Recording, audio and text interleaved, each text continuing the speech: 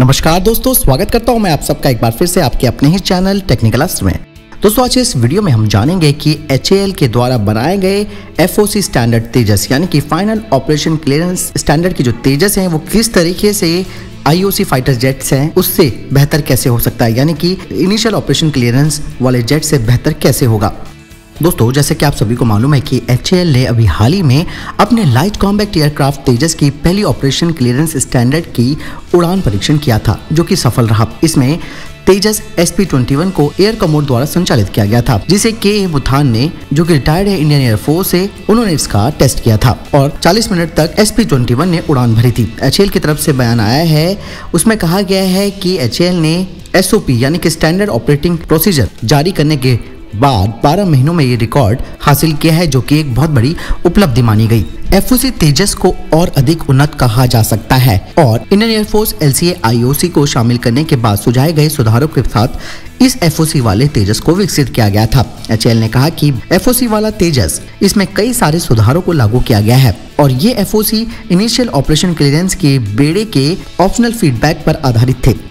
दोस्तों आपको बता दें कि इंडियन एयरफोर्स जल्द ही 18 फ्लाइंग बुलेट स्क्वाडन के लिए 16 एफओसी स्टैंडर्ड तेजस को शामिल करेगा, जहाँ पहले से ही तेजस स्क्वाडन 45 यानी कि फ्लाइंग डैगर्स की स्थापना की गई थी, जिसमें 16 आईओसी तेजस शामिल थे।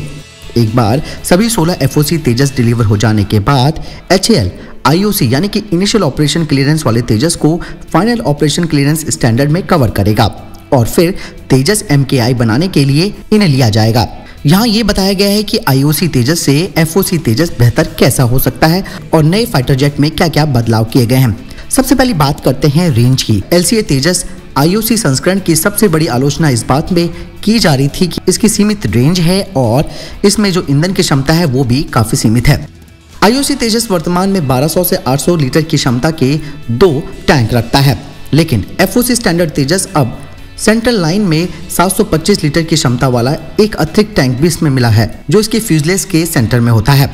इसके बाद बात आती है मिड एयर रिफ्यूलिंग की। इसकी रेंज को बढ़ाने के लिए एफओसी तेजस को पहली बार मिड एयर रिफ्यूलिंग प्रोब का इस्तेमाल किया गया है, जिसका मतलब ये है कि अब ईंधन की चिंता नहीं की जा सकती और ये लंबे समय तक अपने मिशन में उड़ान भर सकता है। हालाँकि स्वदेशी जेट के रडार क्रॉस सेक्शन को ये बढ़ाएगा, लेकिन नए कॉम्पैक्ट डिज़ाइन की वजह से इसका जो रडार क्रॉस सेक्शन है वो छोटा हो जाएगा। यानी कि ये एक तरह से स्टिल फाइटर जेट की तरह भी काम करेगा। अब बात करते हैं ऑटो तोप की, यानी कि ऑटो कैनन की। एफओसी तेजस में G S H twenty three auto cannon, जिसमें twin barrel 23 M mm gun लगाई गई है।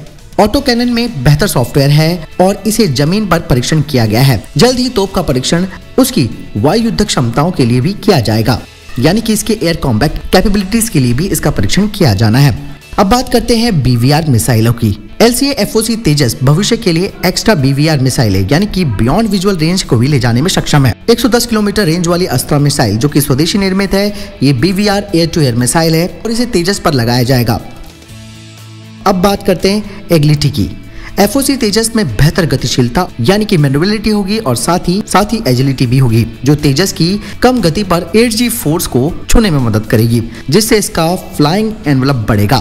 तेजस 3G से 8G तक का युद्ध अभ्यास कर सकता है, यानी कि एफ़ वाला जो तेजस है, वो 3G से 8G तक मैनुअर हो सकता है। इस तरह की बेहतर गतिशीलता को प्राप्त करने के लिए फ्लैप्स के सहित इसकी जो यांत्रिक प्रणालियाँ हैं, उसमें कई परिवर्तन किए गए हैं। ये तेजस को आने वाली मिसाइलों से बचाने में भी मदद करेगा, जिससे ये मिड एयर में रुक कर ही एट जी तक मूव कर सकता है। यानी कि दोस्तों, इस तरीके से जो एफओसी, जो तेजस है, वो काफ़ी उन्नत है आईओसी वाले तेजस से। और इसमें जो इंटीग्रेशन किए गए हैं, वो आईओसी वाले जो तेजस है, उनमें जो जो कमियाँ देखी गई थी, उसके आधार पर इसमें कई परिवर्तन किए गए हैं, जो भारतीय एयरफोर्स को एक मज़बूत बनाने का कार्य करेंगे।